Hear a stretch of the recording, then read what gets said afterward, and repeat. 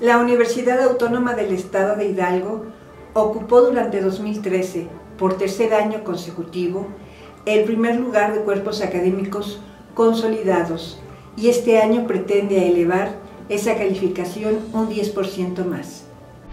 Por tercer año consecutivo, la Universidad Autónoma del Estado de Hidalgo ocupa el primer lugar nacional en cuerpos académicos consolidados, reconocimiento que representa el máximo grado de calidad otorgado por el Programa para el Mejoramiento del Profesorado de la Secretaría de Educación Pública la directora de ese programa en la universidad, Angélica López Martínez, explicó que dentro de la máxima casa de estudios existen 51 cuerpos académicos, de los cuales 33 están consolidados, lo que representa 64.70%, cifra que permitió obtener el primer lugar nacional en dichos cuerpos consolidados entre más de 60 instituciones públicas estatales, politécnicas y tecnológicas.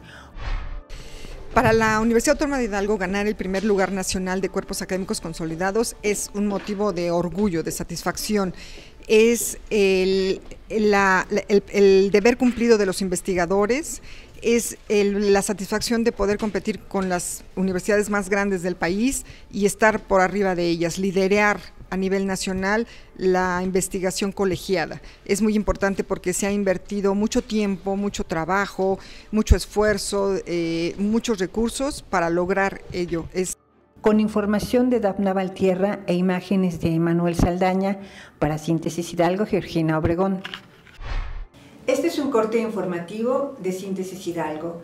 Los invitamos a que sigan la información por medio de redes sociales o si ustedes lo prefieren, a través de la edición empresa de Síntesis Hidalgo. Mi nombre es Georgina Obregón. Muchas gracias por su atención.